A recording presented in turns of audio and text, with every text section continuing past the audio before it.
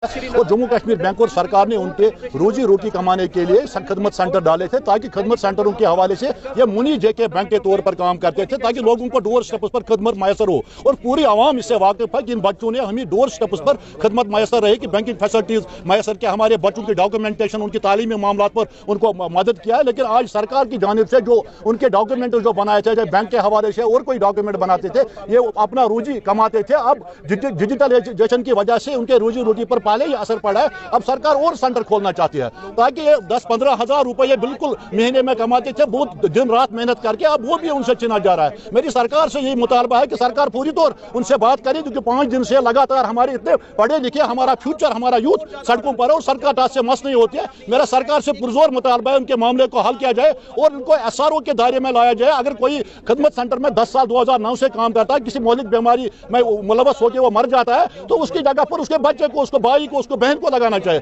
हर तरफ़ से उनको उनको फटकार मिलती है हर तरफ़ से उनकी बात को माना नहीं जाता ये इरोगेंस नहीं चलेगी सरकार को अपने बच्चे समझकर उनके बात को मानना चाहिए टेबल पर आके उनके मसले को हल करना चाहिए। Jammu Kashmir civil society forum उनके जायज़ मसले के साथ हर वक्त उनको सपोर्ट करेगी। अगर सरकार ने लेतुलाल से काम लिया Jammu Kashmir civil society forum और मैं फार्मर एम्प्लॉय लीडर की हैसियत से भी उनको पूरा ताउन दे दूँगा। प्रैक्टिकली भी उनके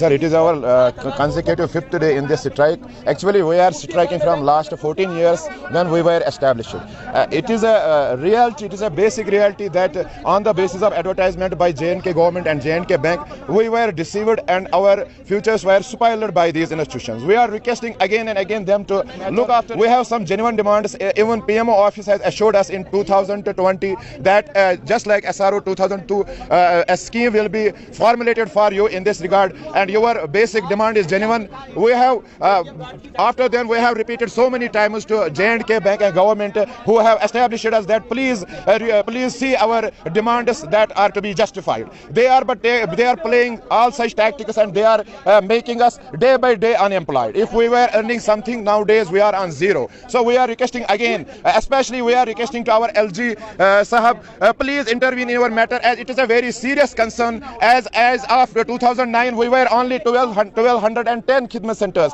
But now we are 1210 families now. And uh, if if our demands will not be uh, completed in few days then our uh, families will join this protest and we will intensify this protest day by day. If anyone is thinking that we are just 10 20 or 40 this is their big mistake. We are 1210 families and we are going to hit our roads with full intense and after that any if any if there is any law and order problems the uh, responsibility will be especially on JNK government and JNK bank. So please and please look